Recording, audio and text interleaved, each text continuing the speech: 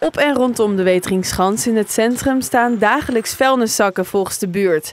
Op tijdstippen dat het helemaal niet mag. Het is hier echt best wel smerig op straat. Ja, het is gewoon vies. Want wanneer het wel mag, S'morgens mag je het wegzetten, s'morgens vroeg. ja, op dinsdagen en vrijdagen van 6 tot half 8 ochtends om precies te zijn. Zes uur s'morgens, ja, doei.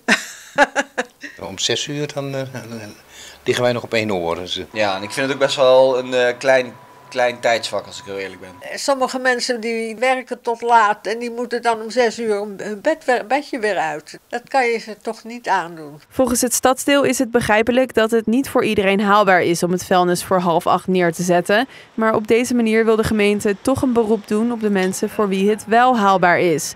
Zware vrachtwagens mogen namelijk alleen voor 11 het centrum in, dus is het tijdvak nodig. Ik weet dat dat zo is, maar ik heb er op zich wel begrip voor eh, dat mensen het de avond ervoor buiten zetten. Het is ook een beetje van alle bewoners moeten het een beetje samen doen, toch? Nou ja, dus dat is ook de discussie in de buurtgroep-app.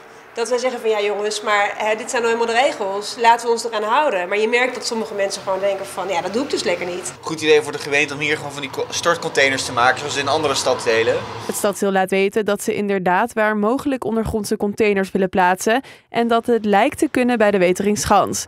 In het najaar kunnen ze daar waarschijnlijk meer over vertellen.